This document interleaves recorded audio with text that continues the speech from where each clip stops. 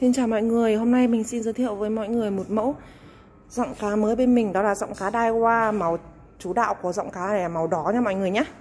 Đây mình sẽ cho mọi người xem ạ. Của thương hiệu Daiwa luôn đấy ạ. Giọng này thì nó có thiết kế là nó có một cái túi ngoài rất là dày dặn để đựng giọng. Nhìn rất là sang chảnh và dày dặn. Khung vành của vọng rộng thì được làm bằng inox Hàng inox chuẩn luôn. Vành ngoài là inox to Vành trong là một vòng thép không dỉ Chất liệu lưới là Chất liệu uh, lưới trắng nhựa nha mọi người nhé Cực kỳ là dày dặn luôn ạ. Cái này là trắng nhựa là có mục đích là khi mà Mọi người mà thả xuống nước ấy Thì là nó sẽ không bị bục Giống như những cái hàng lưới bình thường Giọng bình thường khác có túi bên trong này.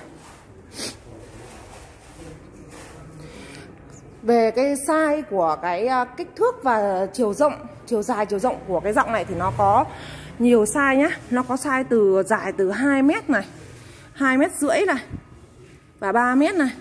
Chiều rộng chu vi của nó là có từ 40 cm này và 45 cm mọi người ạ. Màu tông chủ đạo của là màu đỏ, có cả màu à, 7 màu luôn có cả loại nhiều màu luôn. Đây. Mình sẽ quay cho mọi người xem cái đường chỉ nhé đường chỉ may của nó rất là chắc chắn này. Đây. Chất lưới tráng nhựa ly lông rất là bền luôn. Bao dí luôn. Bao bục luôn. Vành inox. Vành trong là một lượt thép không xí. Mọi người ơi, Giọng cá đi bền theo năm tháng luôn mọi người ạ.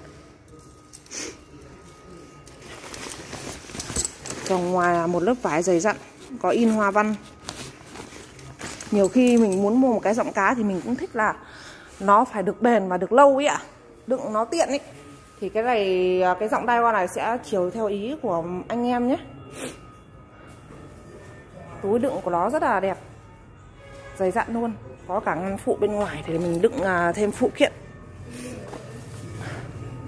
Xin chào mọi người nhé Nếu có cần gì liên hệ thì là tư vấn được.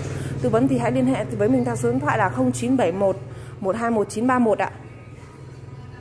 Vâng xin chào mọi người ạ.